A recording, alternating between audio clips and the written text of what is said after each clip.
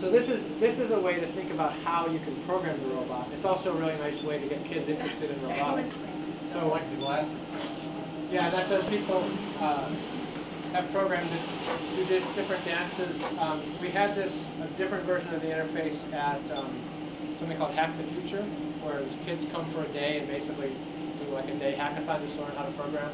Um, and kids have done things like uh, place the game of charades. So they're supposed to make the robot convey some idea. They've done fishing or, or swim and uh, We've actually had one, uh, a doggy, like dog. we've had a dog.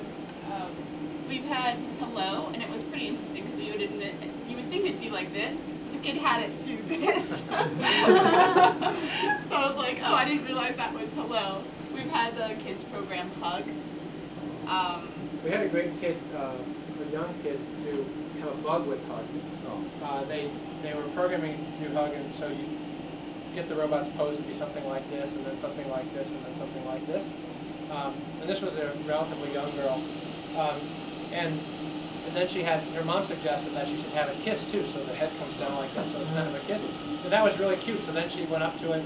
Oh, so the last thing I didn't say, she's got the remote control. When the kids finish their program on the simulator, um, they upload it. They basically say, okay, it's ready, and then Sharon will give them that remote control, and they're able to run their program themselves on the real robot at the Technician. So that's kind of the, the kicker. And when kids come up and say, look at this robot, can I play with it? And say, first you have to program, then you get to play, right? And, and so that's what's pretty good. Uh, anyway, this, this girl did it. We, we programmed the hug, and, and she got, robot ran her program. She got close to it. Are you doing it now? hug. Yeah. All right, so you do this, you get close, and, and um, so she got to this point where the robot is. He's like, come here, come give me a hug. Okay, okay. This is a longer hug program than I'm used to. Um, you see, I obviously trust this hardware. And so you get this cute thing, right? Imagine this little girl about this tall, she's got this thing hugging her, and the end of her program, like, that's the end. So there's no escape. There's, no- there's like a bug in the program, right? I forgot to unhug. Um, so that was fun. Um, okay, so those are our three kind of high-level things. The, the robots for humanity, I think, is a really big one. It's not a huge market in terms of, again, you know, financial impact on the world, but a huge impact to somebody who has no ability to impact their world. To imagine having a robot someday that can do that, that that's really compelling to me.